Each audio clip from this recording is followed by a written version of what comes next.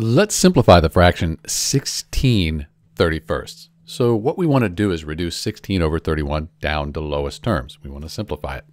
To do that, what we need to do is find the factors of 16 and then 31, and then find a common factor. And we're looking for the greatest common factor. So for 16, these are the factors for 16. 1 times 16, 2 times 8, and 4 times 4. Those equal 16. For 31, the only factors we have are 1 times 31. That equals 31, but that's it. So when we try to find a common factor, the only common factor is 1. That's the greatest common factor for 16 over 31. And when we divide 16 by 1, we get 16. When we divide 31 by 1, we get 31.